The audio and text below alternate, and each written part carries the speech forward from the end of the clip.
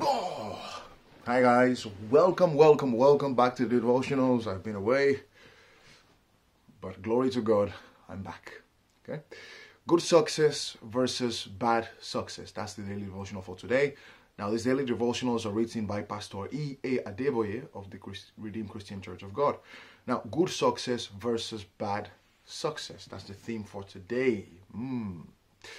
Now, the Bible reading is taken from the book of Joshua 1 8. Joshua 1 8, which says, The book of the law shall not depart out of thy mouth, but thou shalt meditate therein day and night, that thou mayest observe to do according to all that is written therein.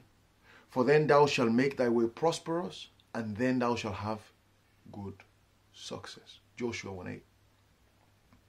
The Bible reading is taken from the book of Deuteronomy 28 1 to 14 deuteronomy 28 1 to 14 which says the following it says and it shall come to pass if thou shalt hearken diligently unto the voice of the lord thy god to observe and to do all his commandments which i command thee this day that the lord will that the lord thy god will set thee on high above all nations of the earth and all the blessings shall come on thee and overtake thee.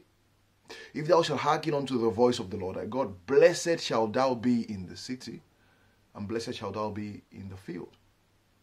Blessed shall be the fruit of thy body, and the fruit of thy ground, and the fruit of thy cattle, the increase of thy kine, and the flocks of thy sheep. Blessed shall be thy basket and thy store. Blessed shall thou be when thou comest in, and blessed shall thou be when thou goest out. The Lord shall cause thy enemies that rise up against thee to be smitten before thy face. They shall come out against thee one way, and flee in seven ways.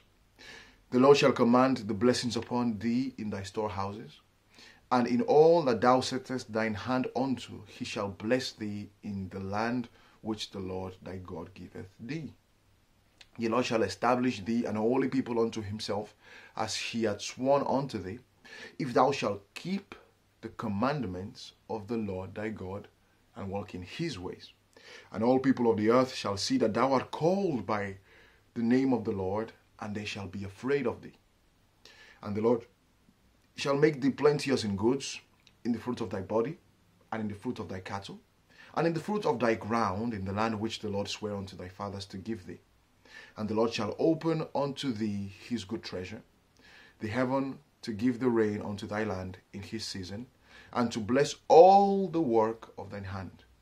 And then thou shalt lend unto many nations, and thou shalt not borrow.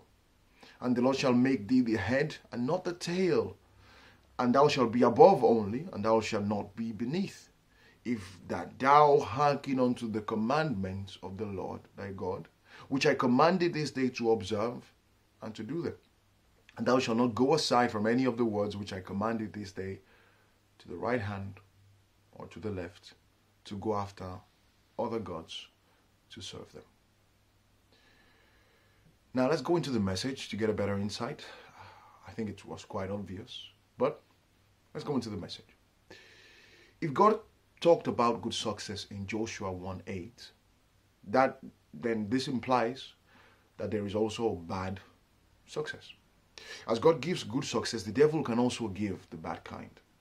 In Matthew 4 8 to 10, the devil showed Jesus Christ the glory of this world and asked Jesus to worship him, promising that he could give him all the glories of, of the world. Thank God our Lord Jesus Christ will never worship the devil. It is unfortunate, however, that many of his children are turning to worship the devil in exchange for success today. Many people indulge in crime, money rituals, and so on to achieve success. This is bad success because it's success from the devil. This is the type that comes with sorrows. When you get good success, God will make you rich materially, emotionally, spiritually, maritally, psychologically, and mentally. I don't know about you, but as for me, I want the kind of success that God gives. I will tell you why many people do not choose God's path to success. because they believe God's way is difficult and the devil's way is easier. But Proverbs 14:12 tells us, saying, There is a way which seemeth right unto a man, but the end thereof are the ways of death. Let me repeat that. There is a way which seemeth right unto a man, but the end thereof are always death. When you get good success, God will make you rich. Uh, but when the devil gives you, will eventually fade away and be void of troubles. And sorry, and not and will not be void of troubles. Only what God gives you will last, give you peace of mind, and keep you holy. Joseph enjoyed good success.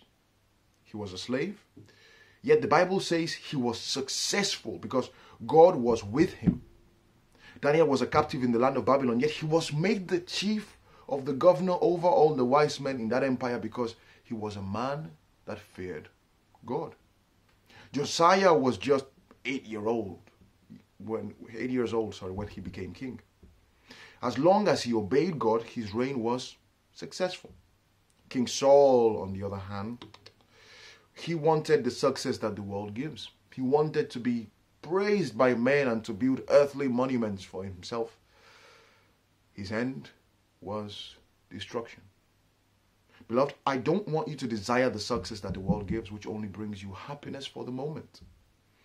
Instead, desire the good success that God gives. Joshua 1 8 says that when you obey the word of God, good success is guaranteed. Let me repeat that. Joshua 1 8 says that when you obey the word of God, good success is guaranteed. This is the type of success that comes without sorrow. Choose wisely. Lastly, we have a prayer point. It's a, short, it's a short one, so I'd like you guys to pray with me. It says, Father, please bless me all, with all round success that comes from you alone. Pray with me. King of glory, please bless me with all round success that comes from you alone, Father, in the mighty name of Jesus. That success that fills me materially, emotionally, financially, spiritually, and mentally King of glory. That is the success I want. Glory and honor be to your name, Father. For in Jesus' name I've prayed. Amen. May the Lord bless the reading and the hearing of his word. In Jesus' name. Amen.